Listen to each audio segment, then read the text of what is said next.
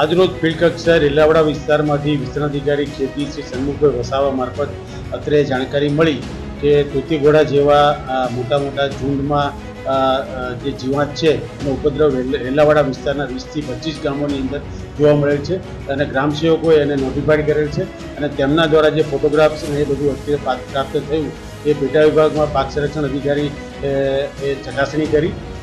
એમણે કન્ફર્મ કર્યું નથી કે આ આમ તો તીતીઘોડા જેવું જ દેખાય છે. છતાં પણ આપણે વૈજ્ઞાનિકોને ટીમ દાંતીવાડા યુનિવર્સિટીમાંથી બોલાવી અને આને કન્ફર્મ કરી અને આનું સચોટ નિદાન કઈ રીતે કરી શકીએ એ બાબતે લાસ્ટ સ્કેલ ઉપર પ્રયત્નો કરી. પંદર હજાર એકરમાં શેરડીને વિપુલ પ્રમાણમાં નુકસાન થયું છે.